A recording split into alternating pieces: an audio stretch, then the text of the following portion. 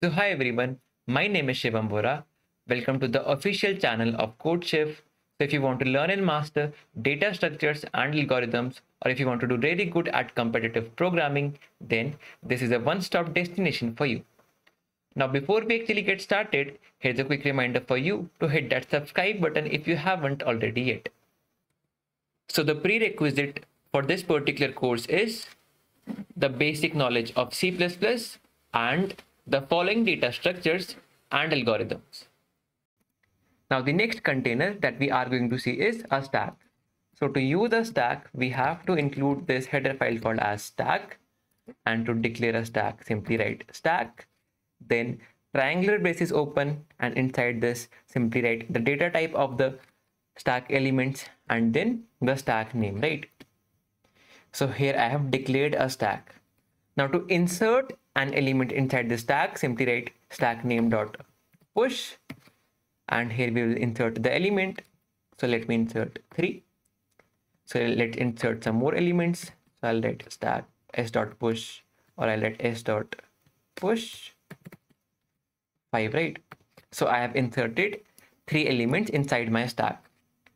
Now at a given moment, we can only access or we can only print or we can only perform perform any operation on the very last element of this stack, right? We cannot access the remaining elements. So if let's say I wanted to print the very last element, I'll write cout, cout, then stack name dot top, right? So now this would print the very last element inside this stack, right? So if I run this code now, then here we can see that 5 has been printed, right? Which is the very last element. If I want to print all the elements inside the stack, so what I'll do is I'll simply print the very last element, then I'll delete this element from the stack, and then I'll print the second last element, and then I'll delete it, and so on, right? So firstly, I'll write a loop while the size of my the size of my um, stack is greater than zero. So this basically means that my stack is not empty. And here I'll write cout s dot top right. After this, we have to delete the top. So for this, I'll write s dot pop. So if I run this code now, or let me add some space. So if I run this code now, then here we can see that the stack elements have been printed in reverse order, right? So basically this stack follows, this stack follows LIFO, which means that last in, first out, right?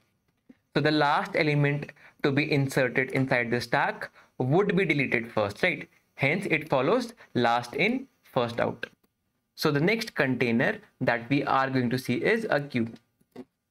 So to use a queue, we have to include this header file called as queue.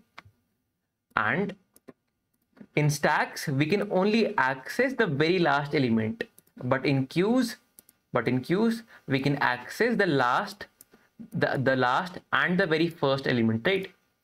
The first element to be inserted inside this queue is called as the front and the last element to be inserted is called as the back right now we can only we can only insert elements from the back and we can only delete elements or we can only pop elements from the front in, in queues right? So this queue follows first in first out right? Which means that the first element to be inserted inside this queue which is basically the front would be the first element to be deleted right? So to create a queue, we simply have to write queue, then the data type of the elements, and then a queue name, right? So here I have created a queue, queue. So to insert elements, I'll write the push function. So let me insert five elements. So here we have five elements, one, two, three, four, five inside this queue. So let's print the front and the back of this queue, right? So q dot back right so if i run this code now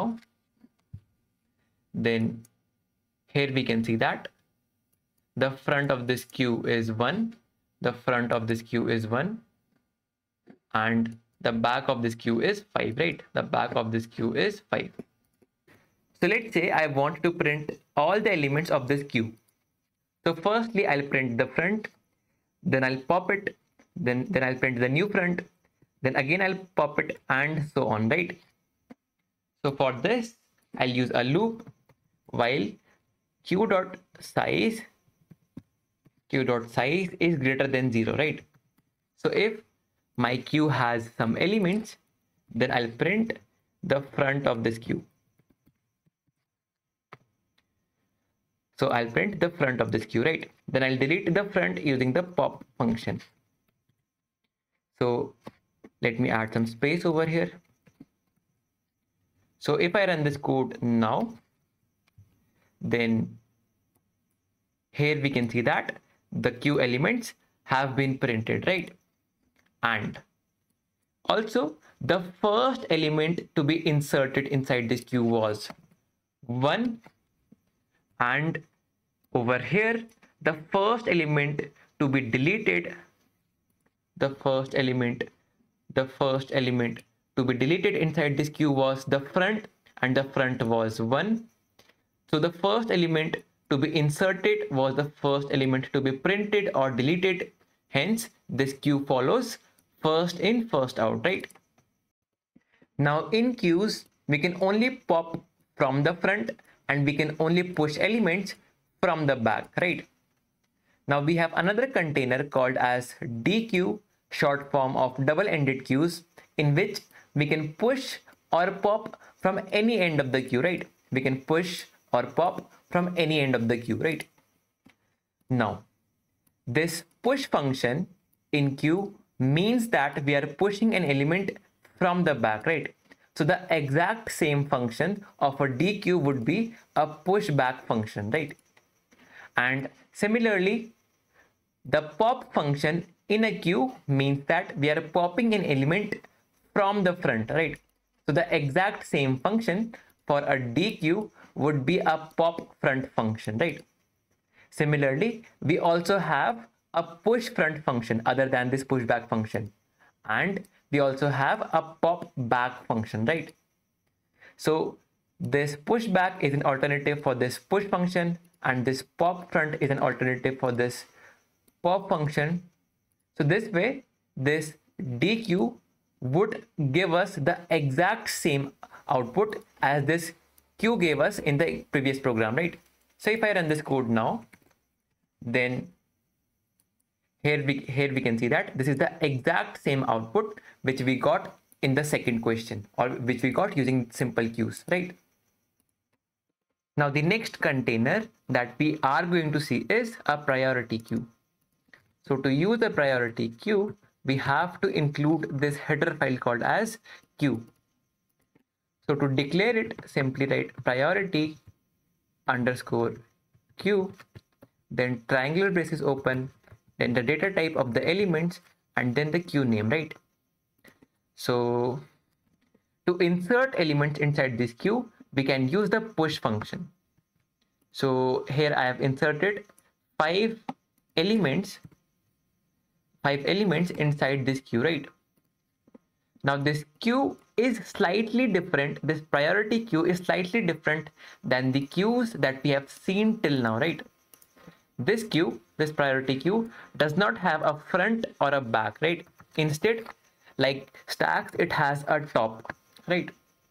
Now the top, now the top of this priority queue would point to the largest number inside this queue, right?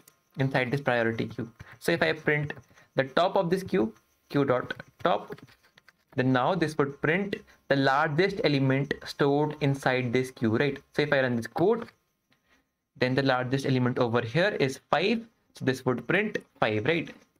Now if i want to print all the elements inside this queue then i can use a loop while the size of this queue is greater than 0 so this means that it has at least one element so if my queue has an element, then I'll simply print the top of this queue, right? So queue dot top. and after that I'll remove that top element using the pop function, right? So queue dot pop, right? So now what they should do, it should first print the maximum element inside this queue, then the second maximum, then the third maximum and so on, right? So in short, it should it should print the numbers in descending order, right? So here we can see that the numbers are printed in descending order, right?